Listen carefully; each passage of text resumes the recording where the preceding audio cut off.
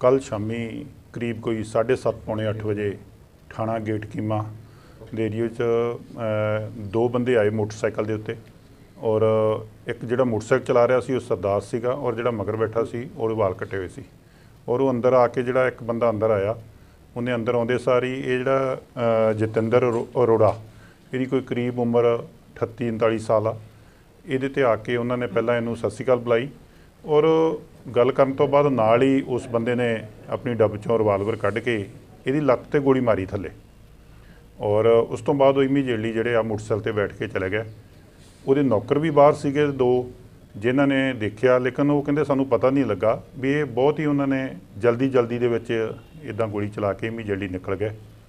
ਤੇ ਉਸ ਤੋਂ ਬਾਅਦ ਮੋਟਰਸਾਈਕਲ ਦਾ ਨੰਬਰ ਨਹੀਂ ਸੀ ਲੱਗਾ ਜੋ ਉਹਦੇ ਦੱਸਣ ਮੁਤਾਬਕ, ਲੇਕਿਨ ਕਾਲੇ ਰੰਗ ਦਾ ਮੋਟਰਸਾਈਕਲ। ਇਹਦੇ ਵਿੱਚ ਅਸੀਂ ਆਪਣੀਆਂ ਜਿਹੜੀਆਂ ਰਾਤ ਦੀਆਂ ਟੀਮਾਂ ਲਾਈਆਂ ਔਰ ਅਸੀਂ ਇਹਨੂੰ ਜਲਦੀ ਬੰਦੇ ਨੂੰ ਟਰੇਸ ਕਰਾਂਗੇ। ਸਾਡੇ ਵੱਖ-ਵੱਖ ਐਂਗਲ ਤੋਂ ਇਹਦੀ ਜਾਂਚ ਵੀ ਕਰ ਰਹੇ ਹਾਂ। ਔਰ ਸਾਡੀਆਂ ਸੀਆਈਏ ਦੀਆਂ ਐਂਟੀ ਗੈਂਗਸਟਰ ਸਾਡੀ ਪੁਲਿਸ ਸਟੇਸ਼ਨ ਸਾਰੀਆਂ ਟੀਮਾਂ ਲੱਗੀਆਂ। ਔਰ ਸਾਡੇ ਸੀਪੀ ਸਾਹਿਬ ਵੱਲੋਂ ਜੋ ਹਦਾਇਤਾਂ ਦਿੱਤੀਆਂ ਗਈਆਂ ਉਹਦੇ ਤੇ ਅਸੀਂ ਕੰਮ ਕਰ ਰਹੇ ਹਾਂ ਰਾਤ ਦੇ।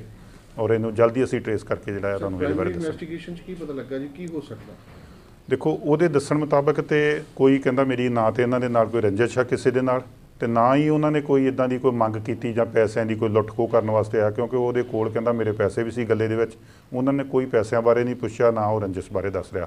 ਪਰ ਅਸੀਂ ਸਾਰੇ ਐਂਗਲ ਦੇਖਾਂਗੇ ਵੀ ਕਿਉਂ ਮਾਰੀ ਲੱਤ ਦੇ ਉੱਤੇ ਗੋਲੀ ਜਦੋਂ ਆਇਆ, ਉਹਨੇ ਲੱਤ ਨੂੰ ਹੀ ਕਿਉਂ ਯੂਜ਼ ਕੀਤਾ? ਕੀ ਕਾਰਨ ਸੀ ਉਹਦਾ? ਕਿਉਂ ਉਹਨੇ ਡਰਾਇਆ ਇਸ ਤਰ੍ਹਾਂ?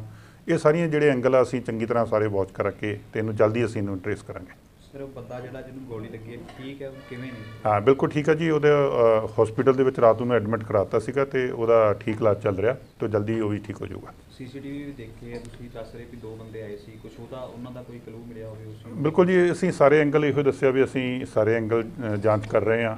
ਸਾਡੀਆਂ ਟੀਮਾਂ ਲੱਗੀਆਂ ਹੋਈਆਂ ਤੇ ਸਾਰੇ ਅਸੀਂ ਸੀਸੀਟੀਵੀ ਕੈਮਰੇ ਵੀ ਚੈੱਕ ਕਰ ਰਹੇ ਹਾਂ ਤੇ ਸਾਰੇ ਇਹਨੂੰ ਜਲਦੀ ਅਸੀਂ ਟ੍ਰੇਸ ਕਰਾਂਗੇ। Thank you sir